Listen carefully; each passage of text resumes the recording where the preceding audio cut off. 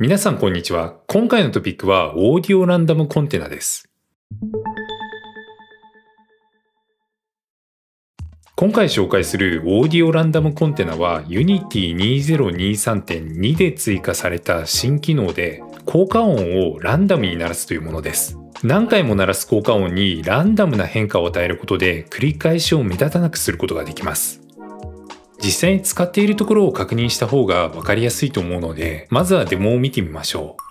これはホラーゲームを意識して作ったサンプルです。スペースキーを押すと前に進むことができます。ちょっと音を注意深く聞いてみてください。今は普通に足音を繰り返し再生していますね。バックグラウンドになっている水滴の音も単純な繰り返しです。これをオーディオランダムコンテナでランダム化するとこんな感じになります。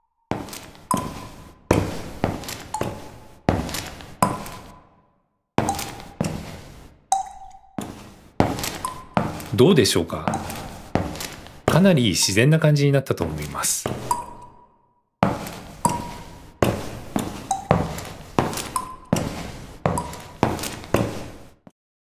オーディオランダムコンテナの設定をちょっと覗いてみましょう。このように複数のオーディオクリップを登録してランダムに選んで再生します。また音量をランダムに変化させたり、音程をランダムに変化させたりというような設定がなされています。繰り返しの間隔もランダムにしていますね。こちらは水滴の効果音の設定です。こちらでは単一のオーディオクリップのみ使用しています。音量、音程、時間の各要素をランダムにすることで繰り返しを目立たなくしているという感じですね。それではオーディオランダムコンテナの基本的な使い方を見ていきましょう。Unity 2023.2でアセットのクリエイトメニューのオーディオを選ぶとその中にオーディオランダムコンテナが存在します。作成したオーディオランダムコンテナを選択してこのエディットボタンを押すとオーディオランダムコンテナウィンドウが表示されます。まずはこのコンテナにオーディオクリップを登録しましょう。オーディオクリップスにあるプラスボタンを押してオーディオクリップを登録していきます。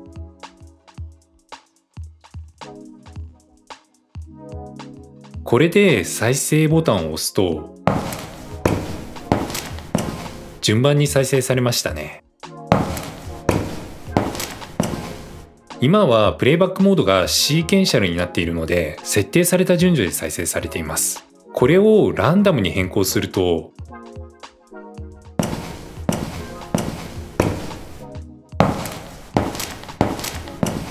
ランダムな順序になりましたね。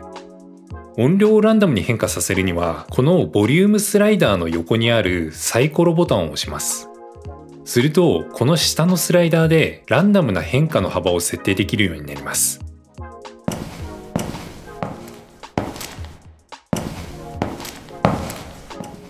音程についても同じ要領で設定できます。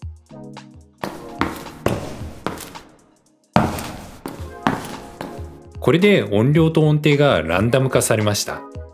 自動再生される音の場合は再生間隔も調整できます。再生間隔の設定にはパルスとオフセットの2方式が存在します。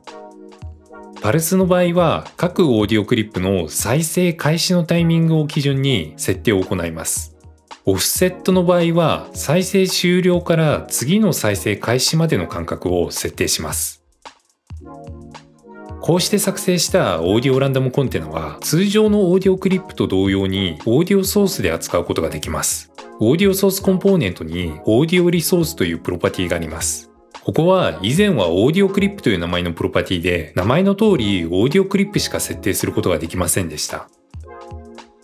今はこのオーディオリソースプロパティにオーディオクリップとオーディオランダムコンテナのどちらも設定できるようになっています。つまり今までと大きく使い勝手を変えることなくこのランダム化の機能を使うことができるというわけですね。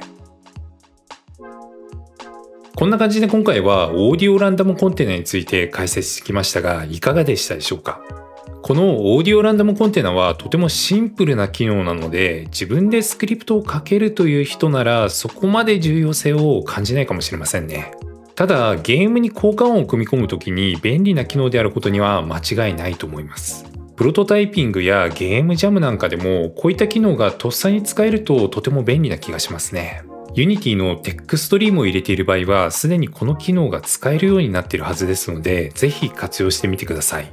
今回の動画が参考になったという方は高評価やコメントをいただけるとありがたいです。それではまた次回の動画でお会いしましょう。